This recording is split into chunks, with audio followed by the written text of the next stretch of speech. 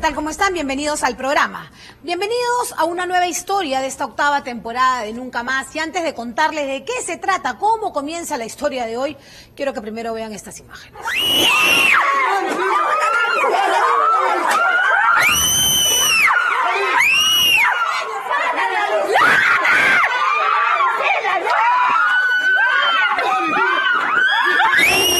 ¿Saben qué es lo más triste y saben qué es lo más doloroso? Es que todos, todos los que se están agarrando de los pelos a puñetes y a patadas, resulta que son familia, son hermanos. Y la señora de sombrero que ustedes están viendo con una escoba es la madre, una anciana que trata de impedir que su hijo le pegue a su otra hija. ¿Cuál es el motivo de tan salvaje y brutal pelea? La casa, la casa. Richard Padilla, el hombre al que no le importa la verdad golpear a su hermana y a su cuñada, pese a que él además tiene a su bebé en brazos, él cree pues que la casa de su madre, que está a nombre de su madre y no de él, también le pertenece a él. Tanto así que si le da la gana, por ejemplo, como ustedes están viendo, se trepa por la pared y rompe, como ustedes están viendo, el candado de la casa de su madre. Pero quiero decirles algo, algo importante. Hoy van a estar aquí todos los hermanos enfrentados. En realidad van a estar aquí todos los involucrados de esta historia y honestamente, más allá de que lo único que queremos nosotros y que estamos, que estamos buscando es que esta guerra pare. No sé qué es lo que va a pasar, pero vamos a tratar de que esta historia hoy tenga el final justo que merece.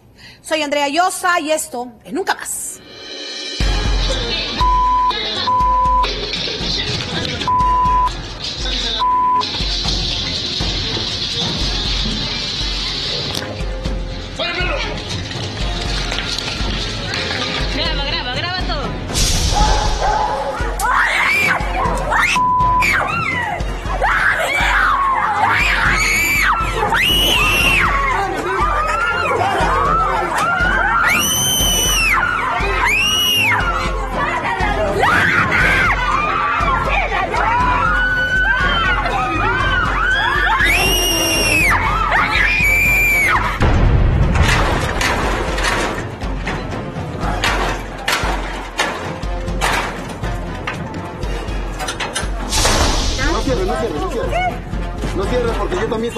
Soy. No, mira, acá en mi DNI dice, ah, Avenida Ventanota, manzana que 9 lote 4. En mi casa también. No es la casa de mi mamá sola. Yo le quisiera decir que se acuerden cómo se quedaron ellos solos, en abandono, y que la tuvo, y que los crió, fui yo. Ahora sí nosotros vamos a continuar con nuestra historia. Doña Felicita es una anciana de 70 años que la verdad no debería estar pasando por este infierno. Cuando ella era muy joven, tuvo cinco hijos con un hombre llamado Ángel Padilla. Y ella cuenta que este hombre la abandonó, se largó con otra mujer. Pero doña Felicita también cuenta pues que tuvo la fuerza para salir adelante sola con sus cinco hijos pequeños además. De pronto conoció a un hombre llamado Rubén Neira y con él se casó y con él tuvo tres hijos más. Los ocho hijos se criaron juntos y doña Felicita asegura, ella lo que cuenta es que se encargó de que sus ocho hijos fueran criados con el mismo amor, todos por igual. Doña Felicita junto a Rubén construyeron una casa.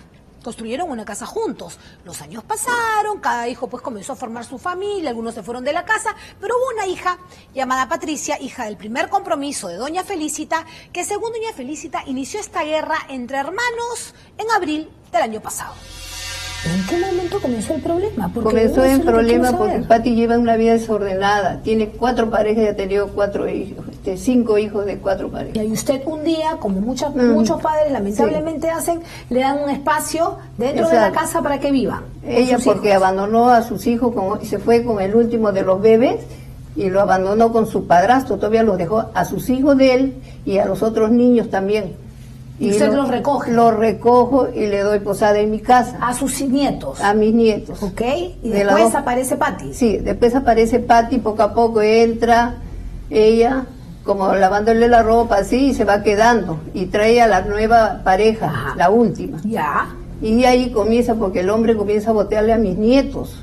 Y yo le digo a mi esposo, viejo, este, ¿cómo se llama? Le está botando a los bebés, porque venían llorando ellos. Ya. Y ahí es donde comienza, todo se inicia. Ya, Porque, porque mi esposo le fue a llamar la atención. Ya. Y ella agarró, se molestó y, y vino con el esposo le dijo, lisuras y media, mi esposo todavía le levantó la mano también. Y ahí ya Ahí acabó, se ahí todo. sí, de ahí comenzó todo. A ver, usted me dice que son dos hijos que le hacen a usted la vida Sí, imposible. Patricia y Richard. ¿Cómo le hacen la vida imposible? Viene ella, me insulta, me agrede, a mi esposo también, hace y deshace de la casa lo que ella quiere. Me dice que me va a quitar mi casa, que ya vieja, que ya te voy a botar vieja loca, yo igualito, mi, mi hijo Richard. Lo peor que ha hecho, ha venido, se ha subido por el techo, ha roto mi candado, ahora poco ha agredido a, mi nuera, me agredió a mí y a mi hija también. ¿Por qué un hijo termina haciéndole daño a su propia madre? ¿Por qué no le permite vivir tranquila en la vejez, en la casa que con tanto esfuerzo construyó? ¿Por Mm. qué piensa usted que sus hijos le hacen eso si usted me dice, yo he sido una buena madre, yo he Sí. Mm. estado con ellos siempre, los he criado y para colmo, el hombre con el que yo estoy también ha sido un buen tipo? Sí, señorita. Entonces, Él ha sido lo que no ha sido su padre. Lo saca en esta hora, lo quiere, él llora. Todos los días lloramos, señorita, es una tortura ahí vivir. Tengo miedo ya de todo lo que me hacen a mí y a mi esposo. Mi esposo ni va a trabajar nada, tenemos miedo. Inclusive nos han amenazado ahí en la comisaría. ¿quién la amenazó? Richard con Patricia. ¿Sus hijos? Sí, mis hijos, el mayor también Johnny. Si usted pudiera decirles algo a sus hijos, ¿qué es lo que le, le gustaría decir? Yo le digo, yo le quisiera decir que se acuerden cómo se quedaron ellos solos, en abandono, y quien la tuvo, y quien los crió. Fui yo. Verdad es que es alucinante cómo en una sola historia pueden existir dos versiones tan pero tan distintas. Por eso Richard y Patricia y los otros hijos del primer compromiso de Doña Felicita van a estar aquí. Es más, quiero decirles algo. El papá, el padre de estos hijos, al que Doña Felicita acusa de haberla abandonado y de ser un pésimo, pero pésimo padre, pues también va a estar aquí en el set. Porque quieren contar, todos quieren contar algo que ustedes no imaginan. Y probablemente Doña Felicita tampoco. Pero sigamos con nuestra historia. En la casa de Doña Felicita y su esposo viven además dos hijas de este, de este matrimonio, Karina y Elizabeth. Y Patty también vive ahí, la hija del primer compromiso, a la que acusan pues de ser el problema. Porque resulta que Patty cada vez que tiene algún inconveniente con alguna de sus hermanas o con su mamá, ¿qué hace? Inmediatamente llama a Richard. Lo llama gritando y diciéndole que la quieren sacar a ella y a sus hijos, que los quieren botar a todos de la casa. Miren ustedes. ¿Alguna vez, Karina, te llevaste bien con Richard? Señorita, era mi hermano preferido. Era mi hermano preferido. ¿Y qué pasó? Por Patty. Por, la, por, Por tu Patty. hermana mayor. Sí. Tú sientes que ella es la que ha generado Lo todo ha hecho, esto. señorita, porque yo lo he escuchado. Porque Patty y yo vivimos juntas. Y Daisy, Elizabeth y Daisy, que es la casa de mamá. ¿Y qué dice? Ella, por ejemplo, no le puedes decir nada que, que se porte bien o que cuide a sus hijos que dice, te metiste conmigo, te j lo llama en mi delante. Mira que Karina me ha insultado, mira que Karina le está diciendo a mi mamá que me vote. Viene él todo agresivo, ¿qué le ha dicho Patricia? Que esto que lo otro. O sea, todos caen en su juego de.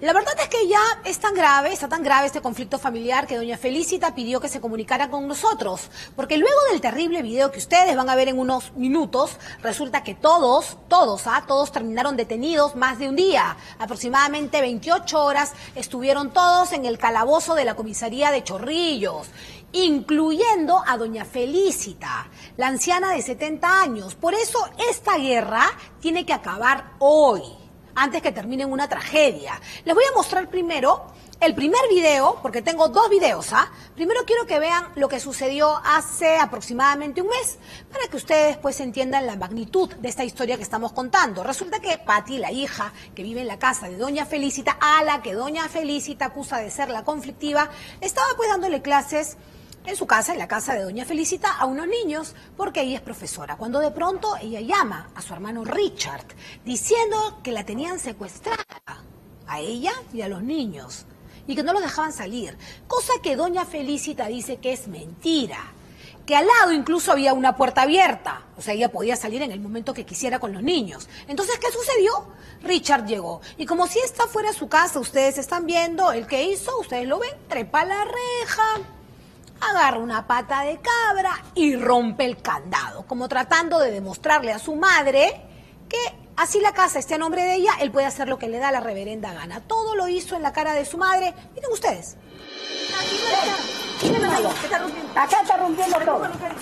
Ah, fírmalo, fírmalo. Anda a traer.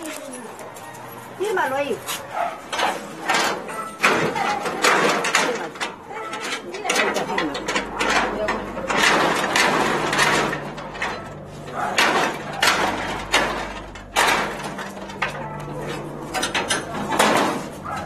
Está rolando, ¿eh?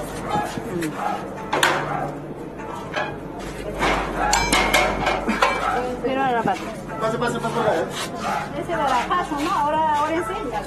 Ahora enseñas inglés. Ah, ahora enseñas inglés. Ah, barajas. No cierre la puerta que está viniendo el patrullero. Va tiene que meditar. Yo le llamo al patrullero. ¿Quién eres tú? Yo he llamado No, eso, ya, ya, ya, no te preocupes. No cierre, no cierre, no cierre. No cierre porque yo también soy hermano, soy dueño también No, de la casa. dueña es mi mamá. No, manda mi mamá. Mi mamá, mi mamá. Entonces mi mamá manda, mi No te mamá manda. Así como dices tú, mi mamá manda, la casa es de todos. Acá la casa no es tuya, ni de tu marido. ¿Ya pidió permiso No, mamá, permiso no podemos pedir permiso, ¿Por mamá. qué? Porque si tú le das la veña a ella, me das la veña a mí, mamá. Ah, sí. Todos somos Ahora tus hijos. soy tu madre. No, mamá. Ahora sí soy tu madre. Eso debe pensarlo, no Ah, denunciarme sí, ahí está nosotros. a Así es, Ah, mamá. sí. ¿Qué agresión? A mi mamá no le estoy haciendo ni una agresión, Karina. Estás viniendo a romperle No, no te el candado de su casa. Mi amor, de su mira, casa. escúchame. Nada que mi amor. Tú no Mira, acá en mi DNI dice. Ah, Avenida Bencarnota, manzana G9, lote 4. En mi casa también. No es la casa de mi mamá sola. Quiero decirles que todos los involucrados de esta historia van a estar aquí. Es más, ya llegaron, ya están aquí en el canal. Pero no solo van a estar los hijos enfrentados de Doña Felicita, sino que también van a venir